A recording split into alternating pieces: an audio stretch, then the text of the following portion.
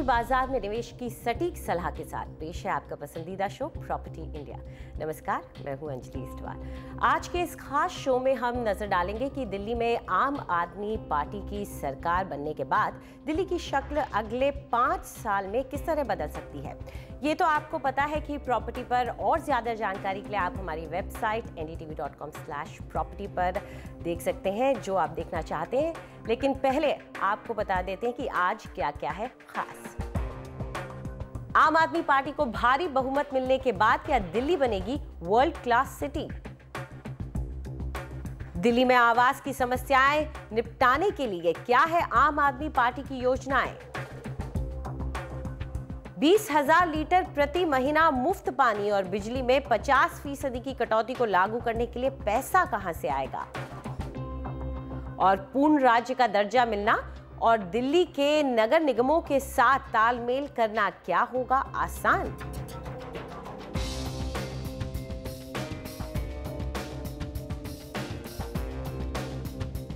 दिल्ली क्या world class city बनेगी? आम आदमी पार्टी दिल्ली में भारी बहुमत के साथ सत्ता में काबिज हो गई है। अब, हर दिल्ली वासी की नज़र है उसके काम पर। क्या वो अपने किए वादे पूरे कर पाएगी? आपके कुछ अहम वादे हैं। दिल्ली के लिए पूर्ण राज्य का दर्जा, बिजली आधे दामों पर।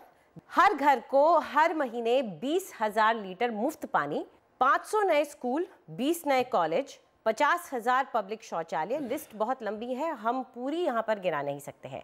लेकिन इस लिस्ट को हम यहाँ पर मुद्दा ज़रूर बना रहे हैं। और इस मुद्दे पर चर्चा करने के लिए हमारे साथ मौजूद हैं संजय सिंह, जो कि स्पोक्स पर्सन हैं आपके। साथ ही हैं सुधीर वोहरा, जो कि आर्किटेक्ट हैं और अर्बन प्लानर हैं।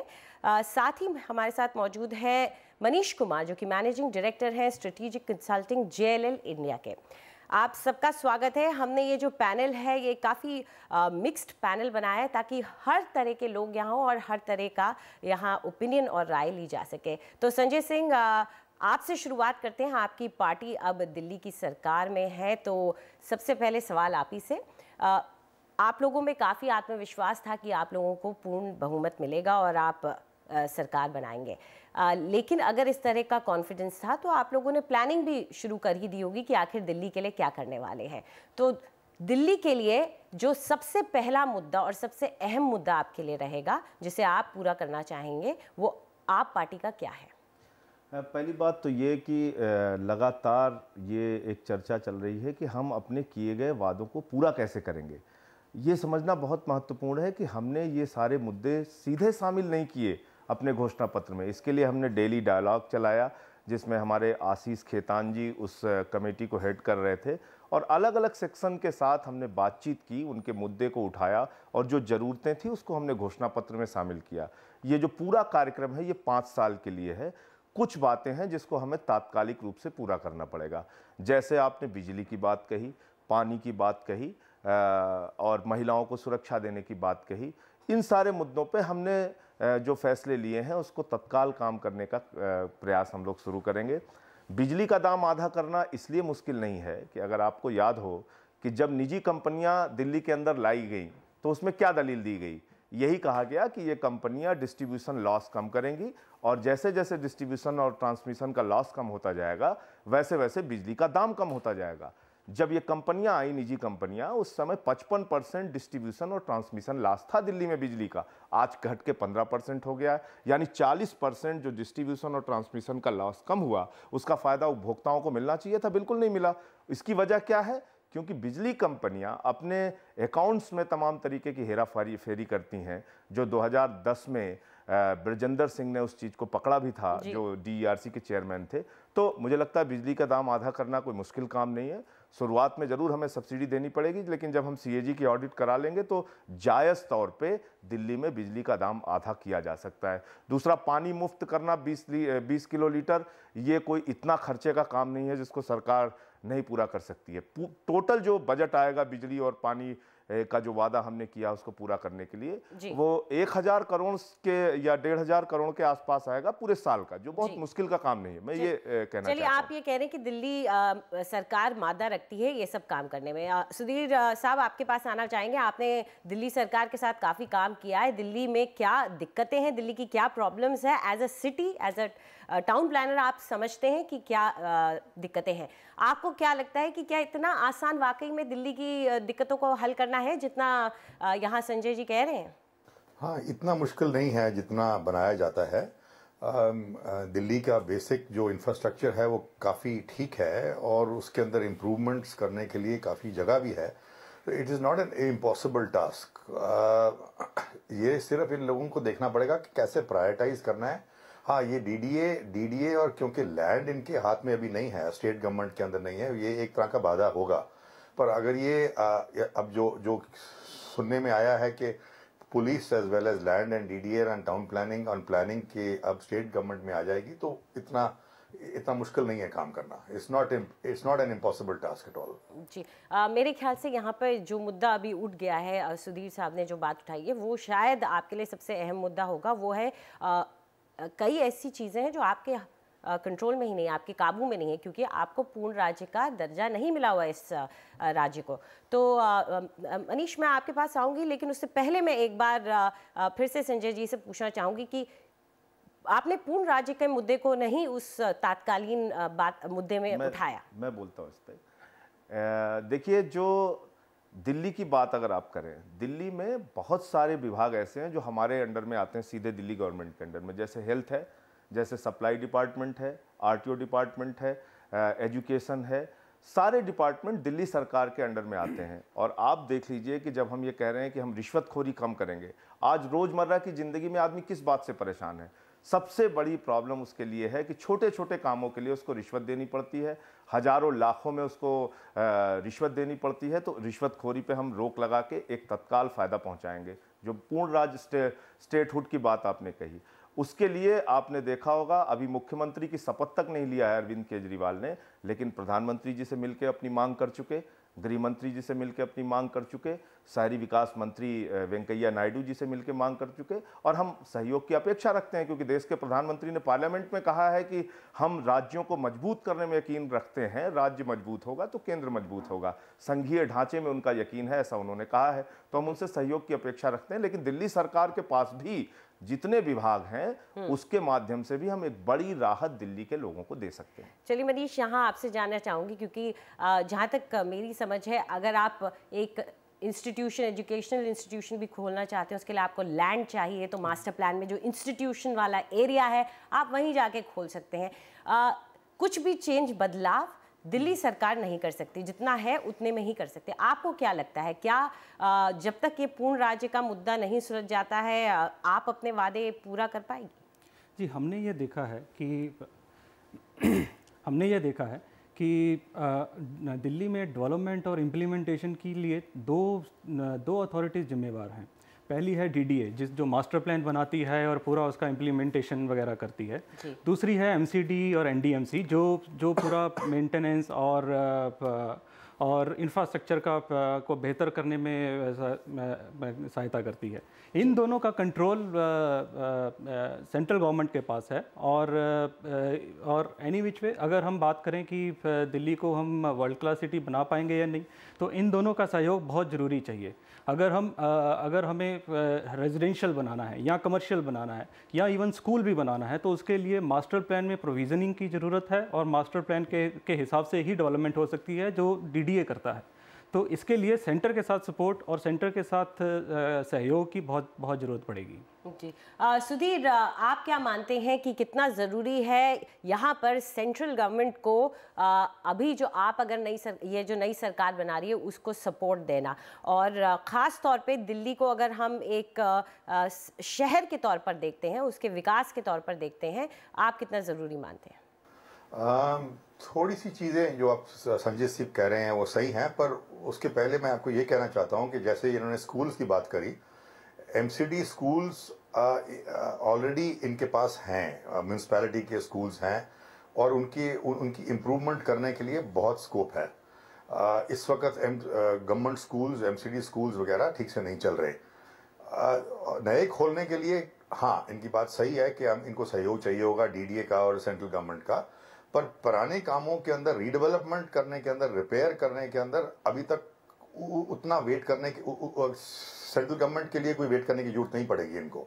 सो इंस्टेंसली इनके पास दिल्ली जल बोर्ड भी इनके नीचे है। So water is not a problem that does not have to go back to the central government के लिए कुछ पूछने की ज़रूरत नहीं है। तो कई एरियाज़ हैं जहाँ पर इनको इनको स्टार्ट ये स्टार्ट कर सकते हैं अपने आप, और पहले स्टार्ट हुए हैं।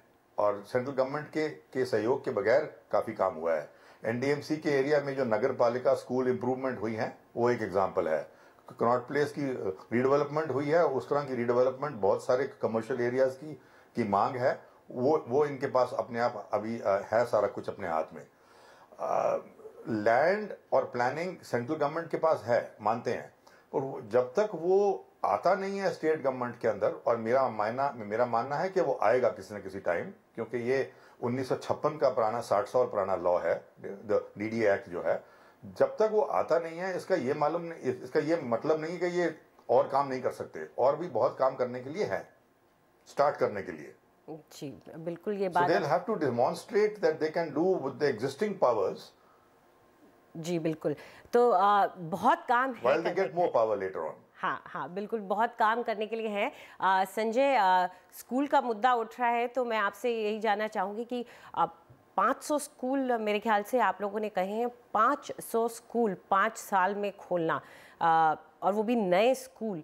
आ, पहला तो आपको लगता है कि ज़रूरी है क्या? और दूसरा ये कर पाना इसके लिए वक्त और इसके लिए पैसा कहाँ से आएगा? देखिए दिल्ली में मैं पिछले तीन सालों से रह रहा हूँ और जगह जगह कई इलाकों में मैं गया हूँ। दिल्ली में बहुत सारे इलाके ऐसे हैं ख़ास तौर से आउटर दिल्ली का इलाका, गाँव का इलाका, नजफगढ़ का इलाका, मुंडका का इलाका, नरेला का इलाका, बवाना का इलाका, उन इलाकों में, छतरपुर का इलाका, उन इलाकों में आप जाएँगे, स्कूल्स की बहुत ज़रूरत है।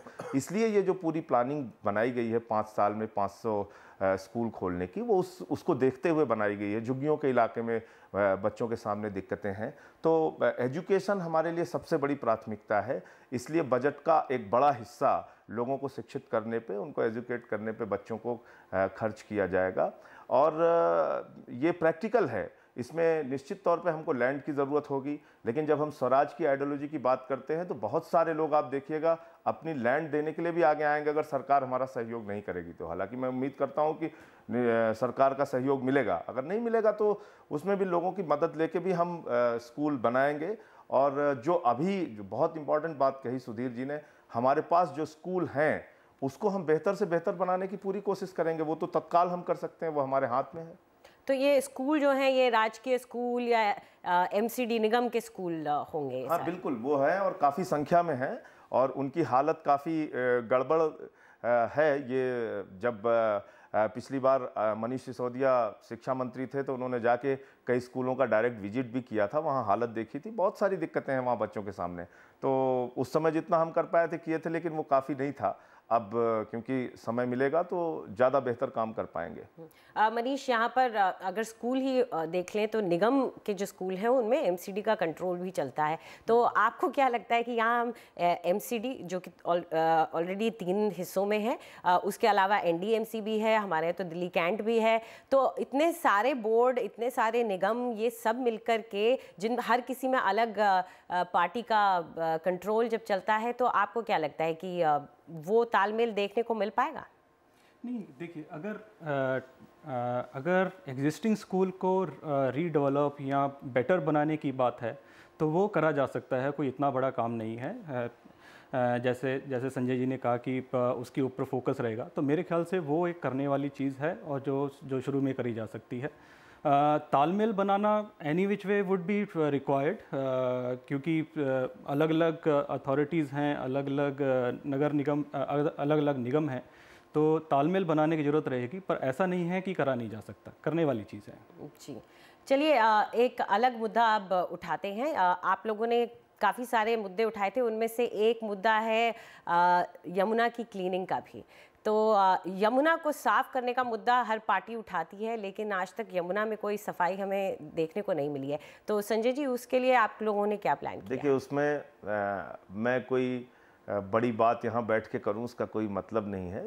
यमुना की सफ़ाई में ये केवल सरकार के स्तर पे काम संभव नहीं है। बहुत साफ़ बता दें आपको जब तक इसमें आप पब्लिक की पार्टिसिपेशन नहीं लेंगी जब तक आप इस पर जनता का सहयोग नहीं लेंगे यमुना को या देश की किसी भी नदी को स्वच्छ नहीं किया जा सकता है। तो मुझे लगता है कि हम, आम आदमी पार्टी की सरकार का, हम लोगों की सरकार का जो जो जो उसकी प्राथमिकता होगी, उसमें हम ये भी कहेंगे कि इसमें लोगों का सहयोग हम कितना ज़्यादा से ज़्यादा ले सकते हैं, इसको भी हम देखेंगे। सरकारी स्तर पर जो प्रयास हो सकता है, वो होगा। लेकिन वो अभी तक जो हुआ है, उस तरह से तो करने का कोई मतलब नहीं बड़ी बड़ी बजट आए, यमुना को साफ़ करने के लिए उस बजट का कहाँ इस्तेमाल हुआ, कुछ पता नहीं। ये ज़रूर है कि जो बजट हम यमुना की सफ़ाई के लिए लगाएँगे, वो पूरी ईमानदारी से उसका खर्च करेंगे और उसको साफ़ करने के लिए पूरा प्रयास करेंगे, लेकिन बगैर जनता के सहयोग के यमुना की सफ़ाई का काम इतना आसान नहीं है, जिस बड़े पैमाने पर यमुना को प्रदूषित कर दिया गया है। जी और स्वच्छता की बात हो रही है तो यहाँ पर पब्लिक टॉयलेट्स की, का भी मुद्दा उठा देते हैं। पचास हज़ार पब्लिक टॉयलेट स्पेसेस और करीब डेढ़ लाख टॉयलेट स्लम्स में आपने बनाने की बात कही है। सुधीर जी दिल्ली में पब्लिक लूज की कमी को तो हम पब्लिक टॉयलेट्स की कमी को तो हम अच्छी तरह से जानते हैं। एज ए टाउन प्लानर ये दिल्ली को एक वर्ल्ड क्लास सिटी बनने से कैसे रोकता है?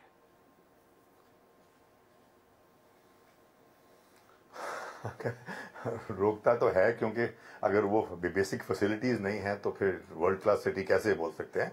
पर मैंने ये कहना चाहता हूँ कि ज़मीन है इनके लिए इनके लिए फैसिलिटीज़ बनाने के लिए स्पेस है, कोई कोई प्रॉब्लम नहीं है। सिर्फ़ प्रॉपर प्लानिंग करके और जगह ढूंढ के जहाँ पर उनको होना चाहिए, वहाँ वहाँ हो सकते हैं, बन सकते हैं ये। Khan market for instance Khan market के अंदर नौ पब्लिक टॉयलेट बने हुए हैं। आपको शायद मालूम नहीं होगा। उन सब पे ऐड लगे हुए होंगे इसलिए दिखते ही नहीं है। टॉयलेट है। वो ऐड लगे हुए हैं पर पर यूज़ तो होते हैं थोड़ा थोड़ा यूज़ होते हैं जितना ज़्यादा नहीं जितना होना चाहिए वो शायद नहीं होते हैं पर है जगह तो है ना उसके लिए बनाने के हम्म। लिए। और वो बने भी हुए हैं वो यूज़ यूज़ करना वो दूसरी बात है अगर वो साफ़ सुथरे रहेंगे और लोगों को आदत पड़ जाएगी यूज़ करना तो फिर यूज़ भी हो जाएँगे। तो that needs also a total cultural change पर प्लानिंग वाइज जगह है हमारे पास और अगर इनके पास विल विल है तो ये काम बड़े आराम से हो सकता है। इसमें कोई लंबी चौड़ी बात नहीं है। जी। मनीष इन सब चीज़ों में जब आपको ये सिविक चेंजेस लाने होते हैं, उसके लिए मेरे ख्याल से तीन चार चीज़ें ज़रूरी होती हैं। आपको जो प्लानिंग है, उसमें डिज़ाइन कैसा है ताकि लोग उसको खास करके अर्बन सेटिंग में, शहरों में आकर के इस्तेमाल करना पसंद करें सिविक फैसिलिटी को सफ़ाई होनी उसकी ज़रूरी होती है। साथ ही वो इस तरह का होना चाहिए कि वो सेल्फ सस्टेनिंग भी हो जैसे रेवेन्यू मॉडल भी उसका सही हो। तो आप क्या मानते हैं कि दिल्ली में इस तरह का प्लानिंग लाना लाने के लिए आप पार्टी की सरकार को किस तरह की कोशिश करनी पड़ेगी? हम बात यहाँ पे टॉयलेट जैसी चीज़ की कर रहे हैं, लेकिन बहुत ज़रूरी मुद्दा है ये। मैं आपसे यही कहने लगा था जब आपने कहा कि उनके ऊपर होर्डिंग्स लगे होते हैं या बैनर लगे होते हैं पर हम मुझे तो समझ में नहीं आता कि वो ऐड के लिए बनाए गए हैं या लोगों के जाने के लिए और इस्तेमाल करने के लिए बनाए आपके सवाल का जवाब यही है कि वो सेल्फ सस्टेनिंग मॉडल बनाने के लिए बनाए गए हैं। वो एक तरह से प्राइवेटाइजेशन का अप्रोच है जिससे कि जो ऐड का रेवेन्यू आता है उससे उसका मेंटेनेंस वगैरह किया जाता है which is a very successful model India में भी और इंडिया के बाहर भी। और ऐड ऐड करने से जो रेवेन्यू आता है उसको उसको आप अच्छे तरीके से अगर यूटिलाइज़ करो तो बहुत अच्छे तरीके से आप उसका उसका मेंटेनेंस कर सकते हैं और जैसा कि खान मार्केट में हमने देखा है आप जाके देखें बहुत अच्छे टॉयलेट हैं और हम्म। लोग यूज़ भी करते होंगे मेरे हिसाब से तो it's a self sustaining model जो हमें बनाने की ज़रूरत है। ऐसे ही और और जगहों के ऊपर जो और जैसे स्कूल्स हो गए या जैसे रिवर बैंक डेवलपमेंट वगैरह हैं, उसके लिए भी ऐसे कुछ मॉडल प्राइवेटाइजेशन अगर लेके आएँ तो तो डेवलपमेंट अच्छे तरीके से करी जा सकती है। हम्म। तो संजय जी, आप लोग ओपन हैं इस पूरे आइडिया की तरफ़ की प्राइवेट से भी कुछ लोग आए डिज़ाइन आइडियाज़ दें, कुछ कॉन्सेप्ट्स दें, ताकि आप लोग दिल्ली में बदलाव ला सकें। नहीं बिल्कुल उसके लिए तो आ, मुझे लगता है कि आम आदमी पार्टी के जो विधायकों को चार करोड़ रुपए का फंड मिला था आप देखिए उसका हमने कैसे इस्तेमाल किया। पब्लिक के बीच में जाते थे स्वराज के तहत उनके साथ मोहल्ला सभा की मीटिंग करते थे और जो उनका प्रस्ताव आता था वही काम हमारे विधायकों ने किया पिछले आठ महीने के अंदर।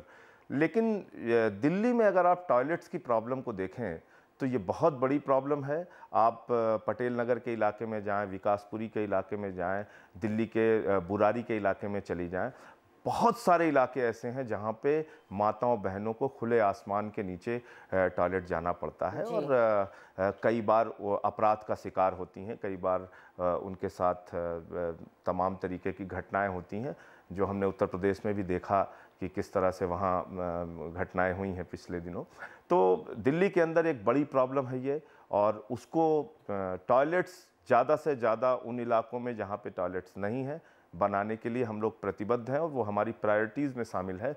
अब ये पचास हज़ार का टारगेट हम कब तक पूरा कर पाएँगे, ये कहना जल्दबाजी होगी। लेकिन उसको करने के प्रति हम प्रतिबद्ध हैं, उसको पूरा करने के प्रति पूरी तरह से हम प्रतिबद्ध हैं। चलिए फ़िलहाल हम एक छोटा सा ब्रेक ले रहे हैं, लेकिन जब लौटेंगे तो जानना चाहेंगे कि आखिर अनाधिकृत कॉलोनियों को लेकर के आपकी सरकार क्या प्लान बना रही है और किस तरह से उस प्लान को क्रियान्वित करेगी।